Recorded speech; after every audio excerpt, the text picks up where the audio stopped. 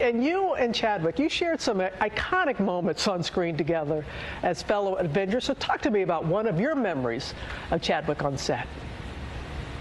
Um, well, uh, toward the end of the the third Avengers, the uh, Infinity War, there's this uh, we all kind of lose together.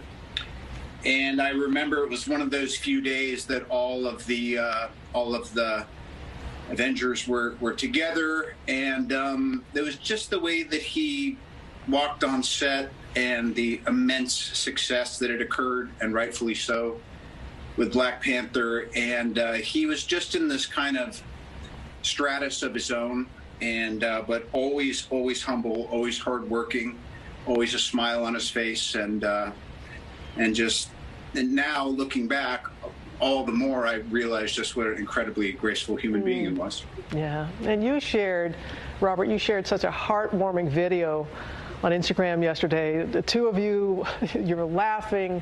Uh, you called him a game changer. How are you going to remember your friend, and how do you want the rest of the world to remember him too? Well, even just it was about some six, eight weeks ago. I, I reached out to him amidst the uh, the George Floyd protests, and he had such a, a thoughtful and kind of informative uh, refrain for me as I was on a bit of a listening tour.